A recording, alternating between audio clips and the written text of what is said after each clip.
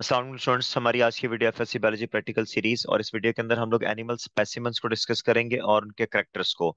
तो बड़ी important video है, इसको आखिर तक देखिएगा। ये आपका जो प्रैक्टिकल एग्ज़ाम होता है, उसके अंदर क्वेश्चन नंबर फोर होता है, जिसके अंदर ये आपसे पूछे जाते हैं। तो तमाम फ़ाइल इसी वीडियो के अंदर मौजूद है।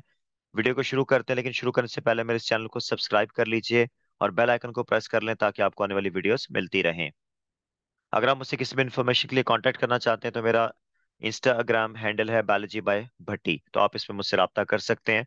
आई स्टार्ट लेते हैं। सबसे पहले फालम पॉरीफेरा के मेंबर्स तो आपको ऊपर रीजन करेक्टर लिखा हुआ नज़र आ रहा है। इसका body is asymmetrical with pores तो एक तो आप सोच में पड़ जाते हैं कि नीचे दो अलग अलग स्पीशीज हैं। लेफ़्ट साइड पे आपको स्पॉन्ज नज़र आ रहा है। राइट साइड पे ल्यूकोसलोनिया नज़र आ रहा है। तो ये स्पॉन्ज का करेक्टर है या ये ल्यूकोसलोनिया का है? तो आपको एनिमल का करेक्टर नहीं लिखना होता। आपको उसके फाइलम या क्लास का करेक्टर लिखना होता है। ये बात याद रखिएगा, अगर वर्टिब्रेट होगा तो वर्टिब्रेट के अंदर क्लास का करेक्टर लिखना है, जैसे क्लास एम्फीबिया है, या क्लास रेप्टीलिया है, या क्लास मेमेलिया है। और अगर इनवर्टिब्रेट्स हैं तो फिर फाइलम का करेक्टर लिखना होता है, जैसे कि पॉरीफेरा के केस में body is asymmetrical with pores तो वहाँ पर जो भी एनिमल होगा फ़र्ज़ कर लें, आपके सामने स्पॉन्ज मौजूद है तो आप लिखेंगे कि आइडेंटिफिकेशन में लिखेंगे स्पॉन्ज और उसके बाद उसके करेक्टर में लिख देंगे body is asymmetrical with pores तो आधा नंबर आपको उसका नाम लिखने का मिलेगा आइडेंटिफिकेशन का मिलेगा और आधा नंबर आपको उसका करेक्टर लिखने का मिलेगा। तो लेफ़्ट साइड पे स्पॉन्ज है राइट साइड पे ल्यूकोसलोनिया है, दोनों पॉरीफेरन्स हैं। मैंने साथ साथ जिस हद तक मुमकिन हो सका मैंने इनके लैब स्पेसिमेंट्स की डायग्राम्स भी दे दी हैं ताकि आपको फ़र्क पता लगे। आप देखें कि स्पॉन्ज में रियल डायग्राम में और लैब स्पेसिमन में कलर का फ़र्क आ गया अपीयरेंस का साइज़ का फ़र्क होता है। लाइकवाइज ये चीज़ आपको ल्यूकोसलोनिया में भी नज़र आ रही है। तो लैब स्पेसिमेंट्स एग्जैक्टली आपकी प्रैक्टिकल कॉपी को मैच नहीं कर रहे होते, इससे मैंने आपको ये डायग्राम साथ प्रोवाइड कर दिए हैं। अभी आपको ल्यूकोसलोनिया पे लेबल लगा हुआ नज़र आ रहा होगा, आप समझेंगे कि शायद ये लेबल जो है वहाँ पे भी लगा होगा तो अमूमी तौर पे लगे तो होते हैं, लेकिन इन लेबल्स को छुपा दिया जाता है, एग्जामिनर आपको शो ऑफ़ नहीं करता तो आपको इसको आइडेंटिफाई करना होता है। तो ये डायग्राम्स और स्पेसिमेंट्स की डायग्राम्स मैंने आपको इसलिए प्रोवाइड किए कि आप समझ सकें कि और आपको आइडेंटिफिकेशन में आसानी हो। नेक्स्ट लेफ़्ट साइड पे साइकोन है, मैंने, अब देखें आपको वाज तौर पे साइकोन का जो लैब स्पेसिमन है, उसमें और जो असल डायग्राम है, उसमें बहुत सारा डिफरेंस मौजूद है। वीनस फ्लावर बास्केट का स्पेसिमन आपके सामने स्पेसिमन डायग्राम अवेलेबल नहीं थी, अलबत्ता एक्चुअल डायग्राम आपके सामने है। तो ये सारे पॉलीफेरन्स है, इन चारों में से कोई भी आएगा तो आप एनिमल का नाम तो वही लिखेंगे साइकोन है या विनस फ्लावर बास्केट है या स्पॉन्ज है, लेकिन जो उसका करेक्टर होगा, वो आप एनिमल का करेक्टर नहीं लिखते, बल्कि फाइलम का करेक्टर लिखते हैं तो वो यहाँ पर मौजूद है। Body is asymmetrical with pores तो चारों के लिए एक ही करेक्टर यूज़ होगा। इसके बाद स्पॉन्जिला है करेक्टर इसके लिए भी वही यूज़ होगा। फाइलम नाइटेरिया। नाइटेरिया में जो जेलीफिश है जेलीफिश की एक्चुअल डायग्राम और लैब स्पेसिमन दोनों की डायग्राम्स आपके सामने है। नाइडेरिया का जो करेक्टर होता है, वो होता है presence of stinging cells called cnidocytes तो ये एक जुमला आप रटा मार लीजिएगा, आप पेपर में ये लिखेंगे। इसके बाकी मेंबर्स कौन कौन से हैं? फाइसिलिया है Portuguese man of war lab specimen और एक्चुअल डायग्राम दोनों आपके सामने है। सियानीमून है हाइड्रा है और कॉरल्स हैं। सब चूँकि एक ही फाइलम के मेंबर्स हैं नाइडेरिया या सिलेंट्रेटा के तो सबका जो करेक्टर है वो एक ही होगा presence of stinging cells called cnidocytes phylum platyhelminthes में आ जाइए तो इसका जो करेक्टर होता है वो होता है flat body without coelom acoelomates है तो विदाउट सिलोम और इनकी बॉडी फ्लैट होती है, इसलिए हम लोग इनको फ्लैट फॉर्म्स कहते हैं. तो इसके कोई भी मेंबर आ जाएगा, आप नाम मेंबर का लिखेंगे लाइक अगर लिवर फ्लू का आ जाती है तो लिवर फ्लू का लैब स्पेसिमन आपको नज़र आ रहा है और साथ में एक्चुअल डायग्राम भी नज़र आ रही है। तो आप देख लें कि एक्चुअल डायग्राम में लैब स्पेसिमन में फ़र्क होता है मुमी तौर पर पहचानना इतना आसान नहीं होता। अलबत्ता इसका करेक्टर वही रहेगा फ्लैट बॉडी विदाउट सिलोम इसके बाद टेप वर्म है टेप वर्म का लैब स्पेसिमन और एक्चुअल डायग्राम मैंने दोनों प्रोवाइड कर दी हैं। उसके बाद प्लेनेरियन देखें आपको प्लेनेरियन बहुत ही छोटा नज़र आ रहा है। This is almost impossible to identify बिल्कुल छोटा सा व्हाइट स्पॉट आपको नज़र आ रहा है। लेकिन इसके मुकाबले में डायग्राम आपको लेफ़्ट साइड पे नज़र आ रही है। तो आइडेंटिफाई करेंगे आप एनिमल कौन सा प्लेनेरियन है। करेक्टर आपने फाइलम का ही लिखना होगा फ्लैट बॉडी विदाउट सिलोम उसके बाद फाइलम नीमाटोडा में एस्केरस आया करती है। एस्केरस के मेल और फीमेल्स का फ़र्क होता है। मेल साइज़ में छोटा होता है, फीमेल साइज़ में बड़ी होती है।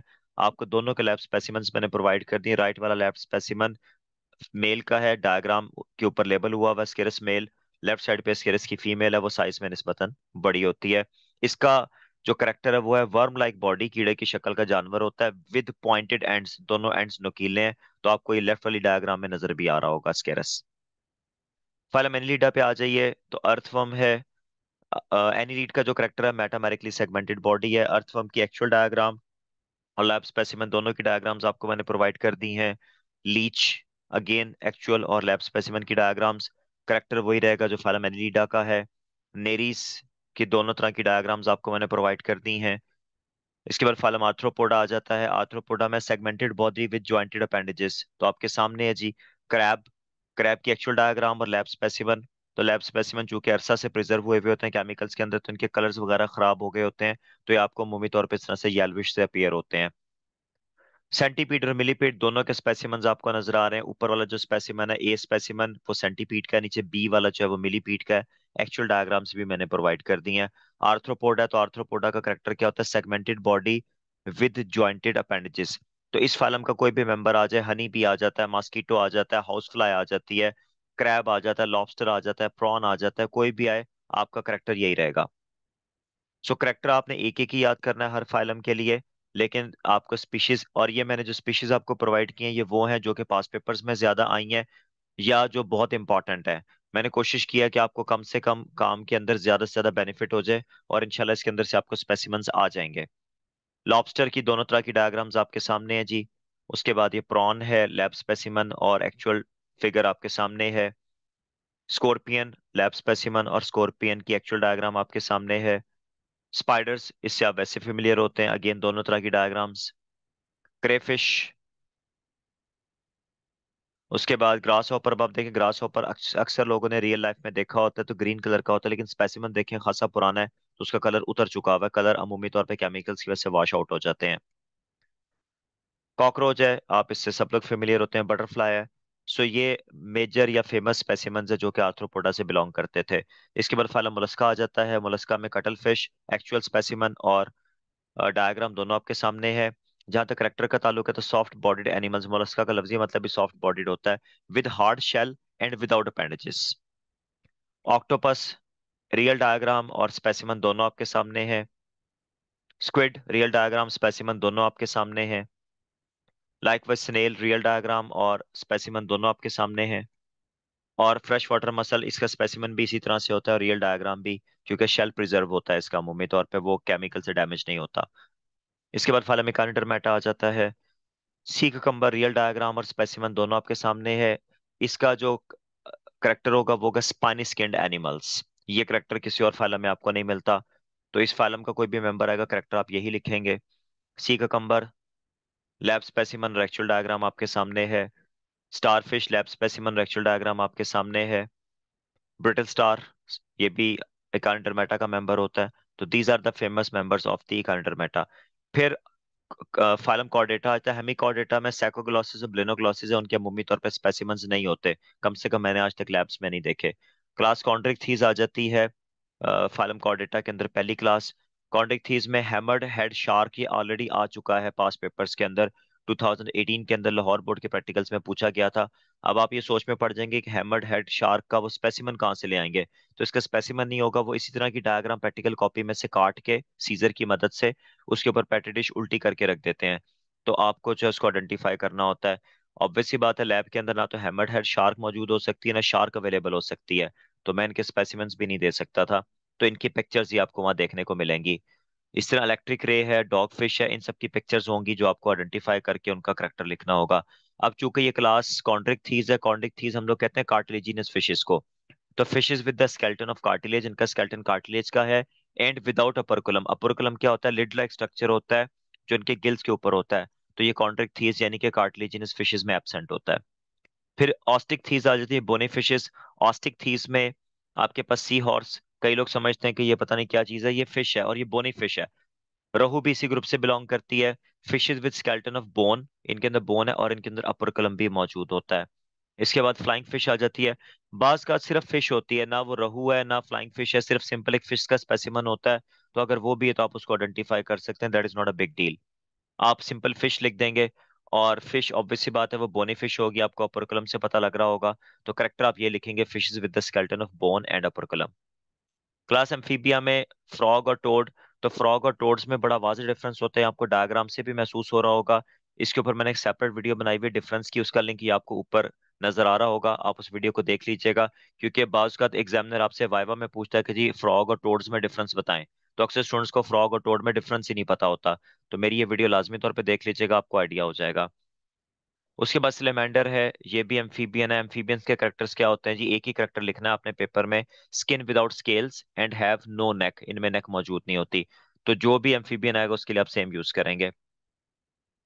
क्लास रेप्टीलिया आ जाती है। रेप्टाइल्स का जो करेक्टर है have scales on their body इसमें कैमेलियन आ जाता है। उसके बाद टर्टल टर्टल और टॉर्टाइस में भी फ़र्क होता है। इसकी भी एक सेपरेट वीडियो मौजूद है, जो मैं लिंक ऊपर दिए दे रहा हूँ। और आप उस वीडियो को देख सकते हैं। अगेन वाइवा में आपसे पूछा जा सकता है कि टर्टल और टॉर्टाइस में कोई से दो डिफरेंस बताएँ, कोई से चार डिफरेंस बताएँ तो आपको पता होना चाहिए। इसके बाद स्नेक लिजर्ड ये चारों टर्टल स्नेक लिजर्ड और कैमलियन जो है, ये आ चुके हैं पास पेपर्स के अंदर और ये बड़े इंपॉर्टेंट हैं। चारों पास पेपर्स में पूछे गए। ये सारे सारे रेप्टाइल्स हैं। उसके बाद क्लास एवीज यानी बर्ड्स आ जाते हैं। बर्ड्स में crow ostrich parrot owl these are famous parrot past papers में आ भी चुका है। इनका करेक्टर जहाँ तक है have feathers on their bodies तो बर्ड्स में सब में ये कॉमन करेक्टर होता है।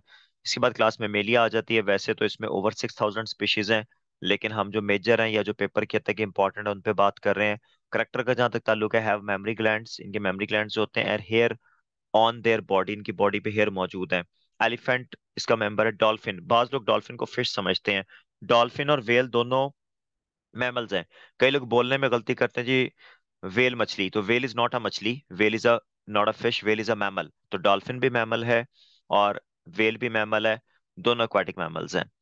कैट ये आ चुका पास पेपर्स के अंदर रैबिट भी पास पेपर्स में आ चुका। दोनों जो है वो मैमल्स हैं। अपोसम भी पास पेपर्स में आया हुआ है। पार्कोपन बहुत इंपॉर्टेंट है। ये पंजाब में बहुत कॉमन है।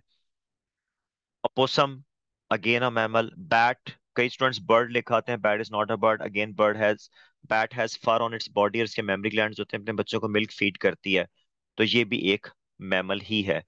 ह्यूमंस एक और एग्जांपल है मैमल्स की तो मैंने ज़्यादा famous examples cow goat sheep horse camel इन सबसे आप लोग फेमिलियर हैं।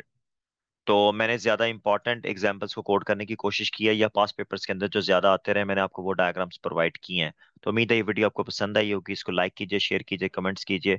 Thank you very much